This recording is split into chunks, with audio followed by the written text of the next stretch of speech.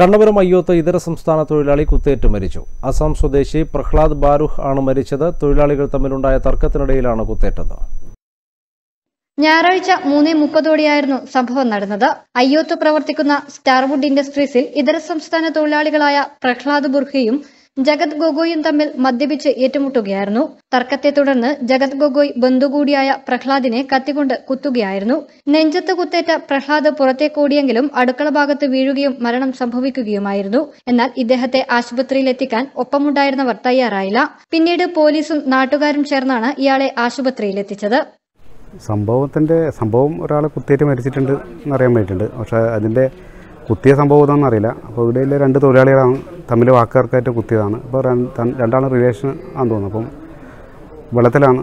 കുറച്ച് കള്ളുപിടിക്കുന്ന ടൈപ്പാണ് മരിച്ച ആൾ അപ്പോൾ മറ്റേളെങ്ങനെയാണെന്ന് അറിയില്ല. അപ്പോൾ കുത്തി വാക്കുതറ കുത്തി കുത്തി പരിക്കേറ്റിട്ടും ഇവിടെ അവർ ആശുപത്രി കൊണ്ട് പോകേണ്ട സംവിധാനമൊന്നുമില്ല. കുത്തിയിട്ട് കുറേ മരിച്ചതിന് ശേഷമാണ് പുറത്ത് ആൾക്കാർ അറിയുന്നത്. കമ്പനിയിൽ സ്റ്റാഫ് ഉണ്ടായിരുന്നു. സ്റ്റാഫ് പോലും അറിയുന്നില്ല.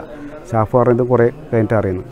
കിഡ്നി മജ ദോ ടീൻ കെ ആസ്പാസ് ഹോഗാ मतलब दो बजे तीन बजे के अंदर ही कुछ ऐसा हुआ वो जो अभी जिसने उसको चाकू मारा उसका थोड़ा घर में प्रॉब्लम था उसका बेबी के साथ जागरा हुआ क्या हुआ वो तो हमको मालूम नहीं इधर अभी जो जिसके साथ वो चाकू मारा वो उसका साथ क्या जागरा हुआ क्या नहीं उसको तो हम लोग को मालूम नहीं है ना നേരം അയ്യോത്തുള്ള ഒരു സ്റ്റാർ ബോർഡ് സ്റ്റാർ ബോർഡ് ഏകദേശം ഒരു ഒരു പത്ത് നാൽപ്പതോളം ആസാംകാർ വിദ്യാർത്ഥികളുണ്ട് അവരൊക്കെ താമസിച്ചിരിക്കുന്ന പഠിക്കുന്ന റൂമിൽ വെച്ചിട്ട് ഇന്ന് ഏകദേശം ഒരു മൂന്നര മണിക്ക് അവർ രണ്ടുപേരും മെസ്സിൽ അവരെ ഭക്ഷണം ഉണ്ടാക്കുന്ന അവിടെ വെച്ചിട്ടാണ് കുത്തിയത്.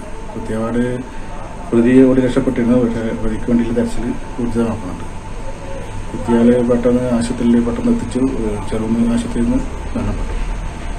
പ്രതിക്കായുള്ള തിരച്ചിലിനൊടുവിൽ കമ്പനിക്ക് സമീപത്തെ കുറ്റിക്കാട്ടിൽ നിന്നും രക്ഷപ്പെടാനുള്ള ശ്രമത്തിനിടെ പോലീസും നാട്ടുകാരും ചേർന്നാണ് ഇയാളെ പിടികൂടിയത്. സംഭവമറിഞ്ഞ് ജില്ലാ പോലീസ് മേധാവി R Ilango DYSP T K Rathnakumar ഉൾപ്പെടെയുള്ള പോലീസ് സംഘം സ്ഥലത്തെത്തിയിരുന്നു. മരിച്ച അസം സ്വദേശി പ്രഹ്ലാദിന്റെ മൃതദേഹം പരിയാരത്തെ കണ്ണൂർ ഗവൺമെന്റ് മെഡിക്കൽ കോളേജ് ആശുപത്രി മോർച്ചറിയിലേക്ക് മാറ്റി. News bureau Pazhayangadi.